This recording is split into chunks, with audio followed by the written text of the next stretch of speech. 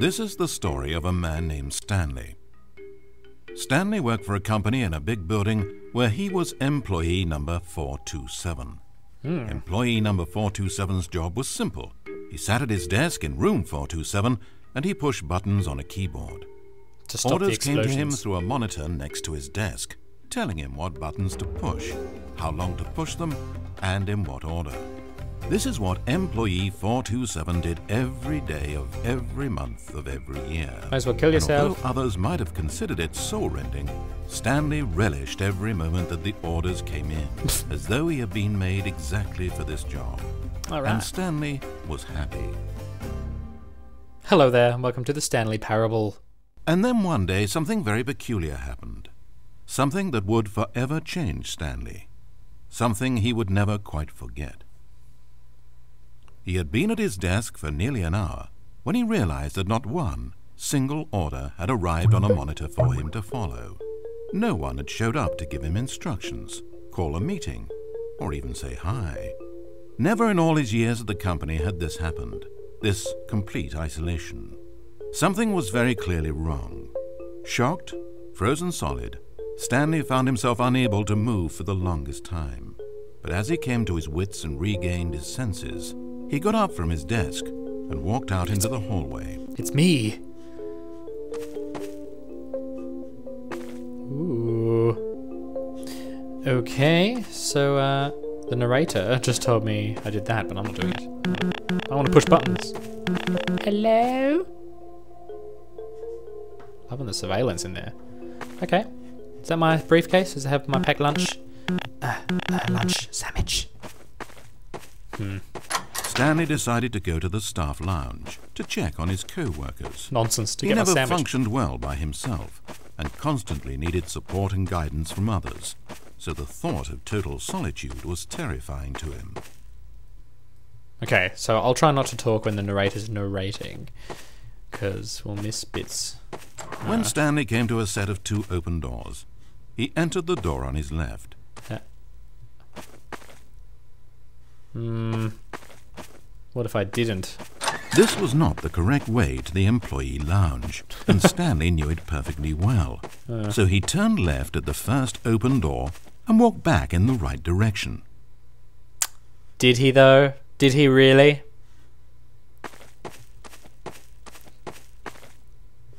Stanley was so bad at following directions, it's incredible he wasn't fired years ago. Maybe this is why everyone had left. No one wanted to be around someone as bad at listening as him. And since he was walking into the middle of nowhere and thus ruining the entire story, Stanley decided that he would punish himself. So when he came to the elevator and the doors opened, he stepped inside and pushed the button to go up. Punishing himself. Oh, I'm frightened now. Maybe, maybe I, maybe Stanley did go the right way. Shit. Uh. Okay. Off we go. It's a very quiet lift for something that looks as shit as this.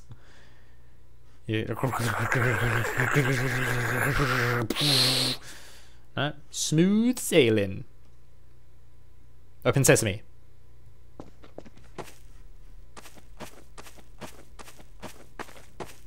I don't want to punish myself. Oh god. oh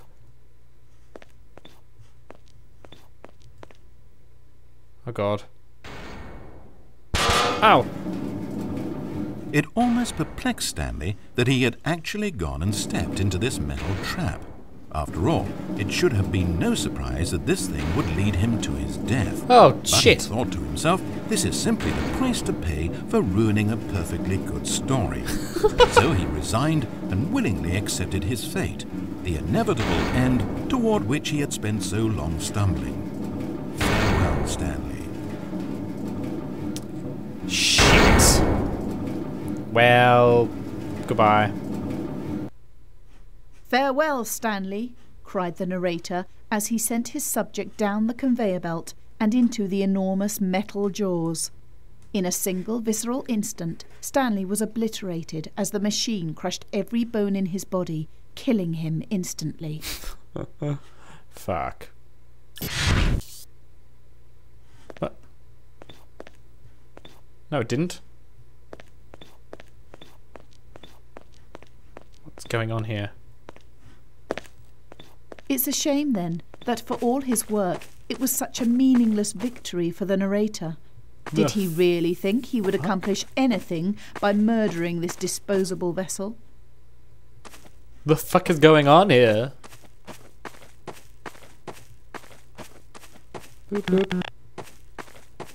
What the hell is this?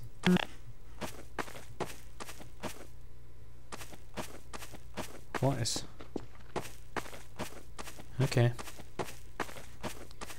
Well, I'm confused. Every possible choice Stanley could make had been designed for him long before he ever set foot here.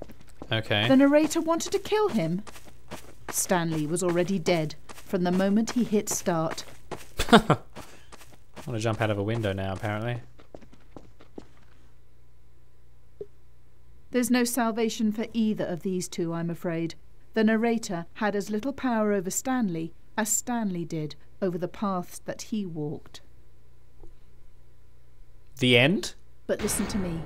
This story is not over. Oh, good. You can still save these two. You can stop the program before they both fail. Push escape and press quit. There's no other way to beat this game. As long as you move forward, you'll be walking someone else's path. Stop now, and it'll be your only true choice. Whatever you do, choose Ouch.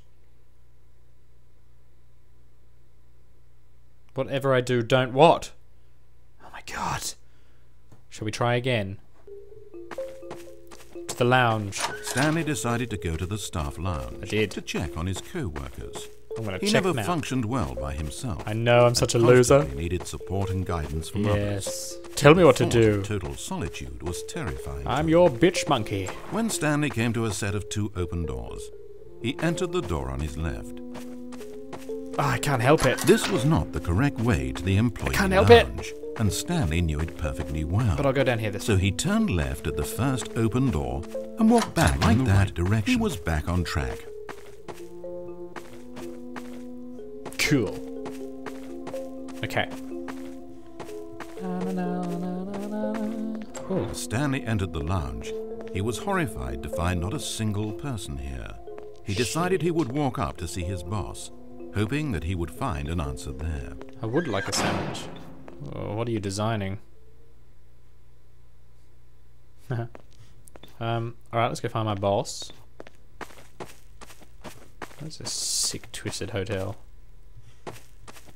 Coming to a staircase, Oh. Stanley walked upstairs to his boss's office.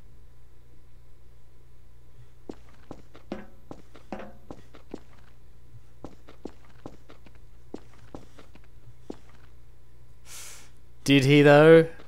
Oh, yeah, he did. Alright. Fuck. Too scared. Up I go. Oh, yeah. Ooh, he's got a fancy office. Entering his manager's office, Stanley was once again stunned to discover not an indication of any human life. It was at this point that he began to feel dizzy and a little chair. sick, and even thought he might pass out when suddenly he noticed a keypad next to the filing cabinet in the corner of his boss's office. Oh. Stanley had never seen this panel before and had no idea what combination of numbers would produce any result. In fact, only Stanley's boss knew this, since hmm. the panel withheld access to the boss's greatest, darkest secret.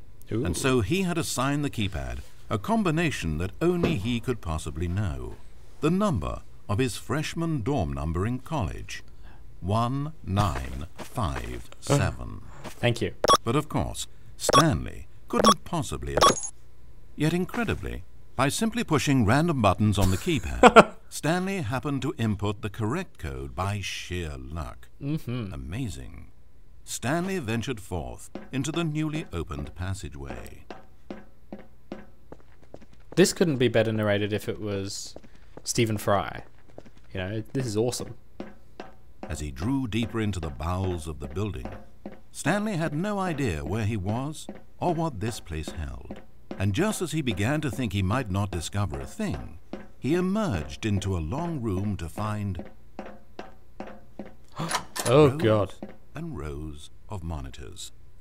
Screens with a number above it. Oh, God. Stanley noticed, however, that these were not random numbers, but the number of employees who worked in the building, hmm. his co-workers. Even his own number, 427, had a place on the wall. Dun dun But dun. why a setup so elaborate, he asked. Was this simple surveillance or something even more? And as if in answer to his question, the wall slid open before him, Oh, oh revealing the ultimate shit. truth of the situation. Oh, God.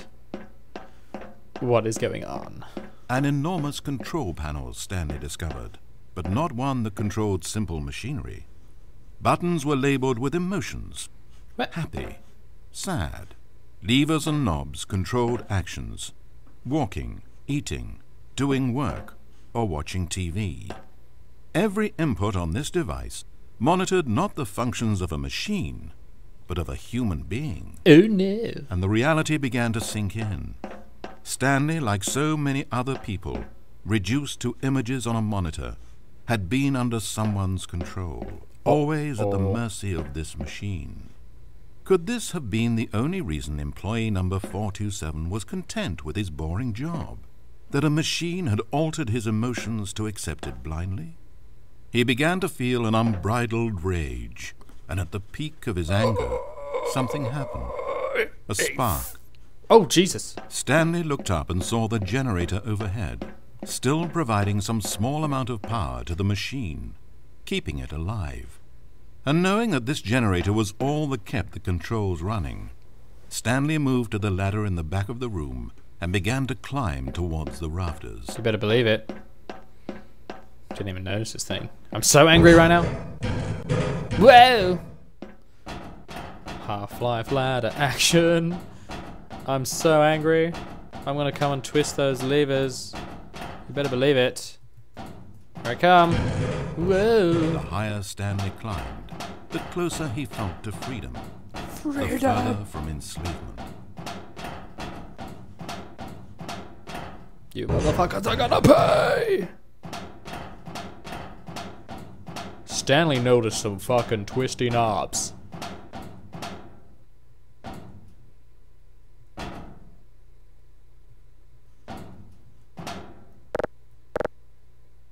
The narrator didn't tell me what to do, but so I'm doing it. I did it. Uh oh. Blackness, power gone, all alone. And then Freedom! As he stepped through the door into the fresh outside air, a feeling of liberation rushed through Stanley's body. He had seen power. He I've had seen seen enslavement, I've seen and he had destroyed it. Ha ha! The underling was in control now. He had found his leading role. Stanley never discovered why everyone had gone missing, nor how and when he had come under the machine's control. Oh shit. But it didn't upset him terribly, because he knew that this was how things were meant to happen. Uh-uh. All he felt was a delight unlike any he had ever known before. Never again would he follow someone else's orders without question. Never again would anyone tell Stanley where to go, what to do, or how to feel. No more bosses.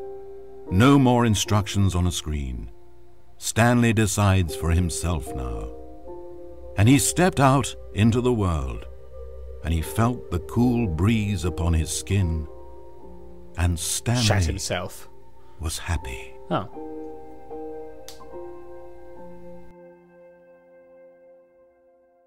Alright, hello again.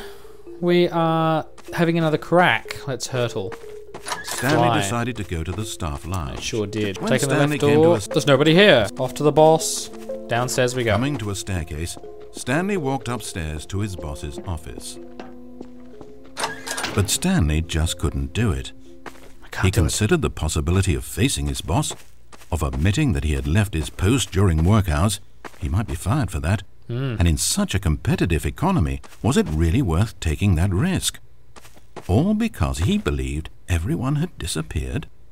his boss would think he was crazy. You're And crazy, Stanley. occurred to Stanley. Get the hell back to Maybe, work. he thought to himself, maybe I am crazy. Everyone I know simply vanishing out of the blue, there's almost no other explanation for it. And a nagging fear began to creep up in his mind. Questions that had been there all along. He just hadn't put his finger on them yet. For example, why couldn't he see his feet when he looked down? why did doors close automatically behind him wherever he went? And for that matter, these rooms were starting to look pretty familiar. Was he just walking around in circles? Where am I? he thought. And the more he found himself unable to answer these questions, the more questions continued to arise, until he came to the issue that had been slowly balling until he could ignore it no longer. Why is there a voice in my head dictating everything that I'm doing and thinking? Shit. Suddenly, every door slammed shut. No, Stanley screamed. I need to get out of here. I need to know that there's something out there. I need to know it's not just all in my head. Uh-oh. And he screamed and clutched at his skull as the voice grew harsher and the music in the background rose higher and higher. And then, moments before collapsing to the ground, eh. Stanley clenched his fists and screamed to anyone who might be listening, I'm not real! I'm not real! Don't believe any of it! None of it's real! These motherfuckers be crazy. This is the story of a woman named Mariella. Where? Mariella woke up on a day like any other. She got dressed, went to work, clocked in, clocked out, and then she walked home. But her walk on this day was interrupted by the body of a man who had stumbled through town talking and screaming to himself, and then collapsed dead on the sidewalk. Moments after seeing him, she would turn, run to the nearest police station, and call for an ambulance. But for just a few brief seconds, she merely stood there, unable to move. The tragedy was not the death of a single person. It was that she would never know this man's story, never hear in his own words what had happened to him, or what he believed had happened to him. For to know these things would be to exist inside the head of the man himself. So all she could do was observe from a distance and pity him. But Mariella had places man. to be and people to meet with, very important people. I got shit to do, fool. Her would affect her career and indeed the rest of her life. I don't want to get my ass fired. She stood there for only a moment, looking down at the body, and then she ran. Poor dead son of a bitch. I'm out of here. Eh. Heading into the corridor. Taking the left door. came to a- Gonna see the boss. Upstairs. Oh my god, there's nobody here. Oh my god, I found this. Oh my god, computer screens. Holy crap, look at all this business here. Climbing in your windows. Okay, here we go. We're back at this machine. I'm gonna pull the green one.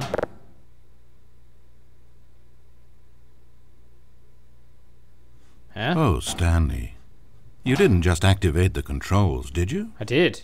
After it kept you enslaved all these years, you go and you try to take control of the machine for yourself? Is Yeah. that what you wanted? Yes. Control? Stanley. Stanley. Don't. I applaud your effort, I really do. But you need to understand Ow. there's only so much that machine can do. Can do everything. You were meant to let it go. No. Turn the controls off and leave.